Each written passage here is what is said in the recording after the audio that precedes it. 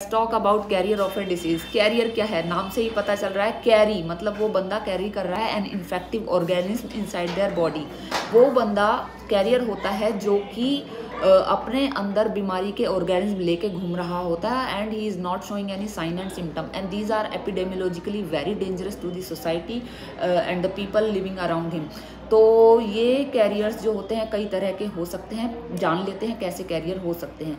Career अब आपको पता चल गया है जिसके अंदर बीमारी है बट उसके अंदर साइन एंड सिम्टम नहीं है. कैरियर कॉन्टैक्ट कैरियर हो सकता है मतलब कि केस के कॉन्टैक्ट में आने से जब कोई दूसरा बंदा कैरियर बन जाता है. केस के that is contact carrier second is paradoxical carrier जब एक कैरियर के कॉन्टैक्ट से दूसरा बंदा वो बन जाता है कैरियर बन जाता है। दैट इज़ पैराडॉक्सिकल केस में क्या है? केस था फलमिनेंट डिसीज फलमिनेंट सिम्टम्स उसको थे, उससे दूसरा बंदा कैरियर बन गया। पैराडॉक्सिकल कैरियर में पहला कैरियर जिसके अंदर सिम्टम नहीं थे, उससे दूसरा कैरियर बन गया।